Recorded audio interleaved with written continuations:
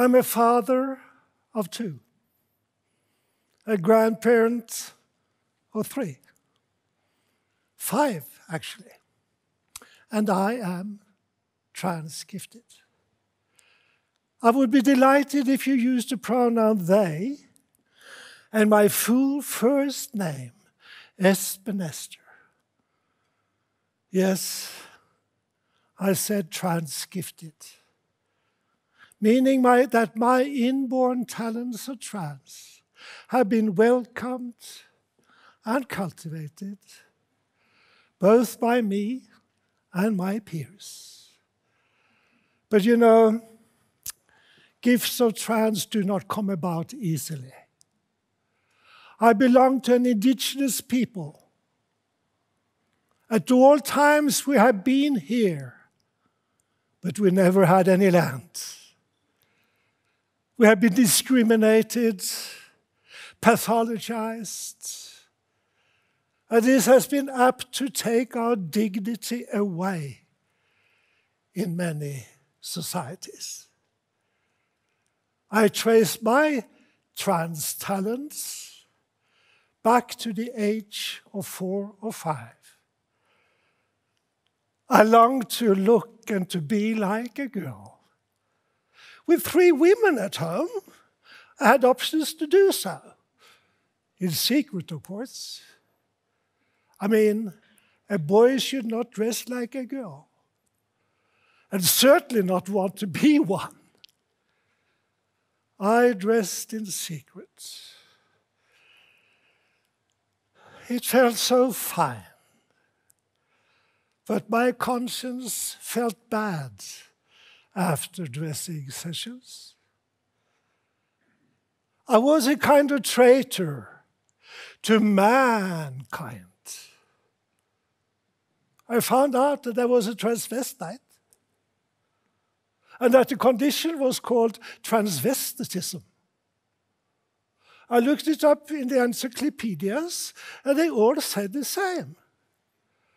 Transvestitism is a pathological urge to dress in the clothes of the opposite gender. Yeah.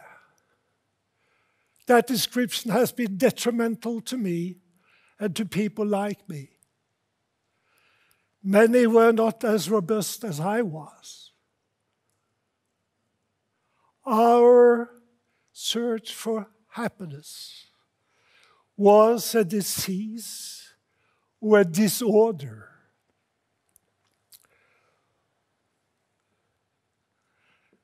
They call it a disease. This ease. Then what is ease? And who decides? They call it a disorder. Disorder. Then what is order? And who decides? Most people are cis.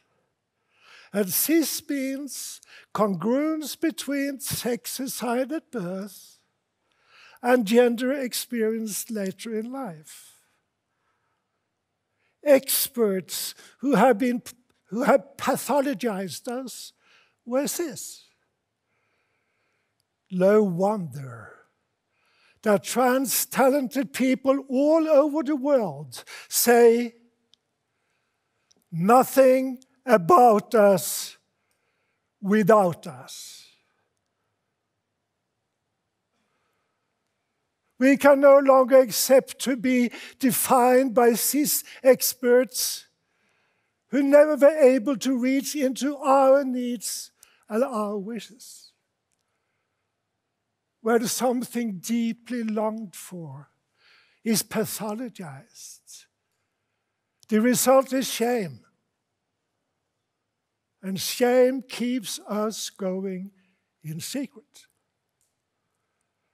Some learn to move away from a non affirming world to an inner world, so well protected that it may simulate autism.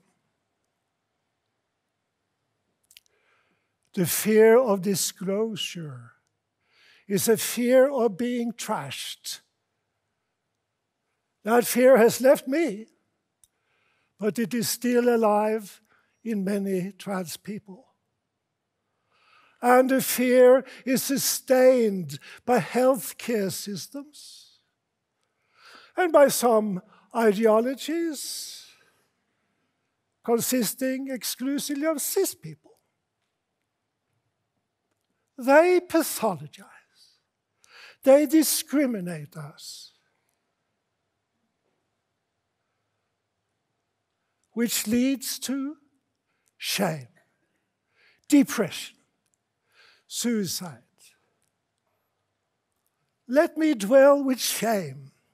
Imagine a person they thought to be a girl who wants the name Peter and the pronoun he. Now, Peter tells me that he has revealed his inner self to his family and friends. How was that for you, I wonder? And the common answer is they took it well. They didn't have a fit. Can we sense a hidden message here? Imagine the same person having wrecked the family's car. He comes home with the steering wheel in his hand and blood in his face. How was that for you? I would ask. And the answer might be they took it well. They did not have a fit. There is an inbuilt shame in many societies that, in consequence, equals gender diversity with car wrecks. So, what can we do?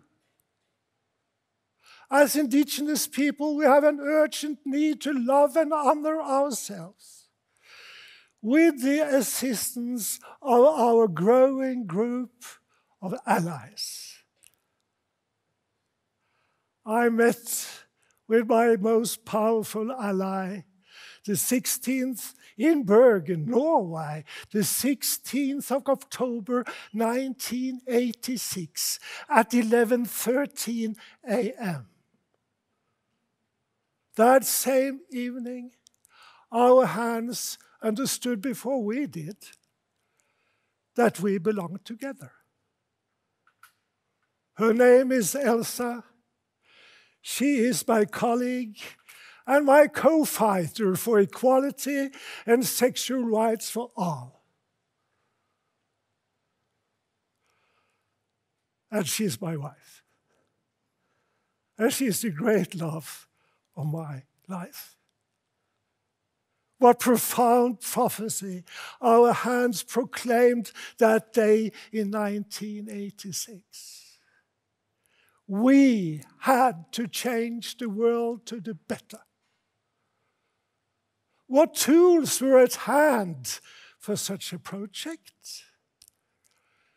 Well, I had come to Bergen to a sexological conference to present data from a research project where we found that the gender identity of trans people flowed in a continuum between the gender majorities, women and men. I cannot say for sure what had the most impact at that conference. My talk on gender identity, Elsa's and my radiating love? Or was it perhaps the fact that I came out as trans to many of the attendees?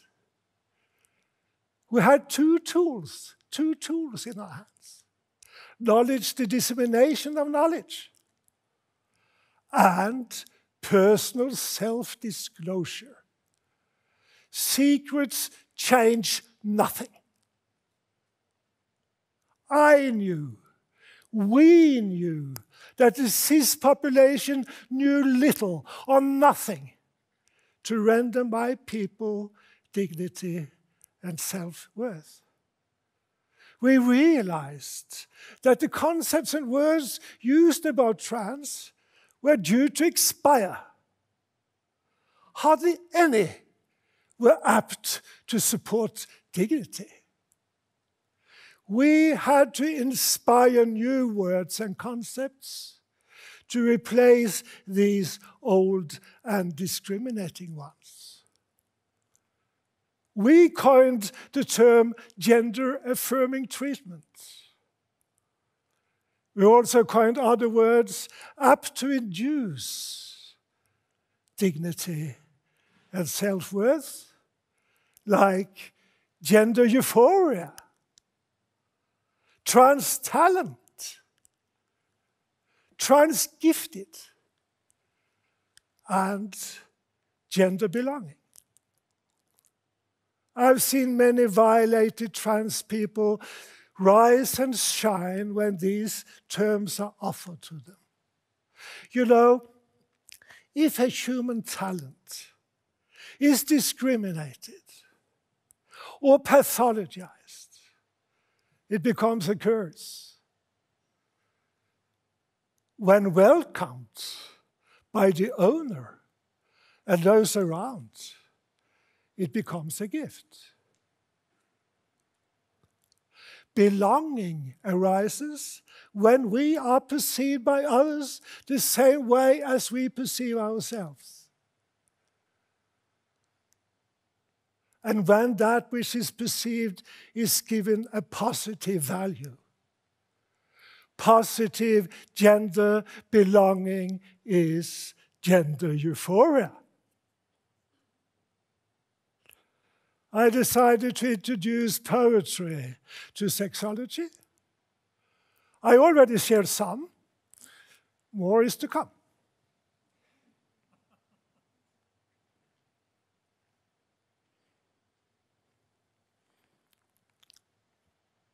When Elsa and I perform on stages together, people say, Oh, you are so calming. And so normal. Performance and reassurance is vital to reach into people's minds and people's emotions. The idea of sex and gender as a binary is deeply rooted in our society while the only binary nature offers is that of semen and eggs. As for chromosomes, genes, hormones, sex organs, there are more options than two. Some say that I'm not natural. What might I be then? Synthetic? Anyway, the gender binary has become a holy cow. Anyone who talks about gender diversity is seen for resistance and even hate. There is a great, great need for knowledge. But there is no major healthcare education that offers any teaching on the subject of gender diversity. Open and loving conversations with at least 100 of my people is the prerequisite for a justified opinion in these matters. Yes, it takes courage to stand up for the rights of trans people where some cis people cry so loudly against our need to be in congruence with ourselves. In the meanwhile, the sense of not being welcomed, not being offered a positive belonging, prevails. Where from comes my energy? To fight for the rights of my people. I found an answer when a dedicated Hindu asked me, Why have you chosen to come to earth?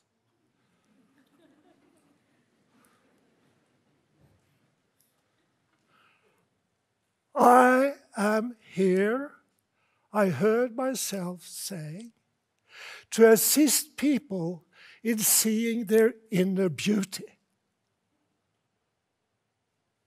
We must stop encouraging a cis ideal for trans. The term to pass is to be perceived as cis. No trans person can ever be cis unless we revert to sex assigned at birth.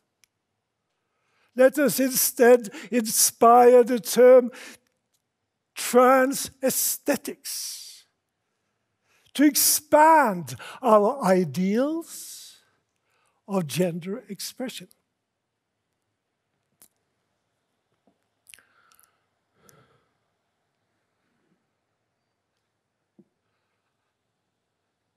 I've been told I live as sin by those who claim to know.